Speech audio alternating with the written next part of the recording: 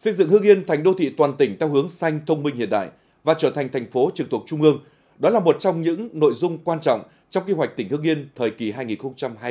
2021-2030, định hướng đến năm 2050. Quy hoạch xác định quan điểm phát triển Hưng Yên theo hướng đô thị xanh thông minh dựa trên kết cấu hạ tầng đồng bộ hiện đại kết nối với thủ đô Hà Nội và các địa phương trong vùng. Tầm nhìn đến năm 2050, Hưng Yên trở thành thành phố trực thuộc Trung ương, thành phố thông minh, giàu bản sắc văn hóa, là nơi đáng sống của vùng đồng bằng sông Hồng. Tỷ lệ đô thị hóa đến năm 2030 khoảng từ 60 đến 65% và đến năm 2050 khoảng 80%. Theo đó, sẽ đẩy nhanh tốc độ đô thị hóa gắn với phát triển kinh tế đô thị, phát triển các khu đô thị lớn sinh thái, thông minh, hiện đại. Thời đại là gì? Thời đại là phải đô thị thông minh. Thời đại là phải đô thị là xanh. Thời đại là phải là một cái đô thị mà uh, gắn với lại cái cái hệ thống là sáng tạo, khởi nghiệp công nghệ cao. Tất nhiên là không phải chỉ có một đô thị là cái thành phố Hưng Yên mà đó là cả một cái chùm hay là một cái chuỗi đô thị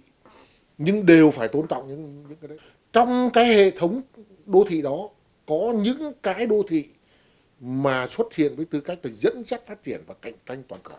hiện nay là hưng yên bắt đầu có cách cách nhìn như thế tôi đọc trong là xuất hiện cái này nên phát huy cái này đô thị hóa của hưng yên ấy. tôi cho rằng cơ hội nó đặt ra là cực lớn mà làm đô thị thì hưng yên ấy cái lợi ích phát triển của hưng yên ấy nó rõ rệt hơn rất là nhiều nó thành một cái địa chỉ ở tầm quốc gia cho quốc gia này. Phương án phát triển đô thị của tỉnh Hưng Yên theo mô hình mạng lưới đa cực tích hợp với các đô thị trung tâm và đô thị hỗ trợ, hình thành các cấu trúc phát triển đô thị giai đoạn đến năm 2030, cơ bản đạt tiêu chí đô thị loại 1 với 18 đô thị, gồm một đô thị loại 1 là thành phố Hưng Yên, hai đô thị loại 2 là thành phố Mỹ Hào và thành phố Văn Giang, hai đô thị loại 3 là thành phố Văn Lâm và thành phố Yên Mỹ, cùng 3 đô thị loại 4, 10 đô thị loại 5. Đến năm 2037, tỉnh Hưng Yên cơ bản đáp ứng tiêu chí thành phố trực thuộc Trung ương. Ba đô thị trung tâm đó là thành phố Nghiên Yên là trung tâm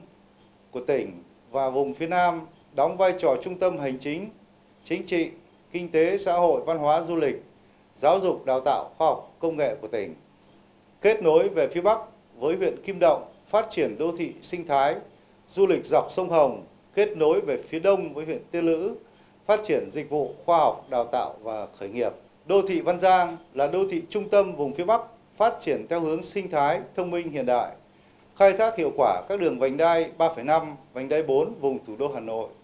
kết nối với khu vực phía đông và phía nam của thủ đô và đóng vai trò thúc đẩy quá trình đô thị hóa khu vực phía bắc của tỉnh. Đô thị Mỹ Hào là đô thị trung tâm vùng phía bắc phát triển theo hướng đô thị công nghiệp, dịch vụ, thương mại và nhà ở theo hướng thông minh hiện đại, phát triển gắn với hệ thống hạ tầng khung quốc gia trong hành lang công nghiệp đô thị của tỉnh, gắn với phát triển logistics các huyện ở phía đông nam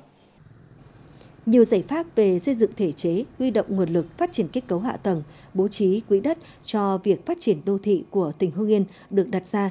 Trong đó có việc xác định danh mục các dự án tập trung ưu tiên thu hút đầu tư với chủ yếu là các siêu đô thị quy mô vốn hàng chục nghìn tỷ đồng như khu đô thị dịch vụ thể thao 1.300 ha tại thành phố Hưng Yên, khu đô thị bảo tồn văn hóa phục dựng phố Hiến xưa 1.800 ha.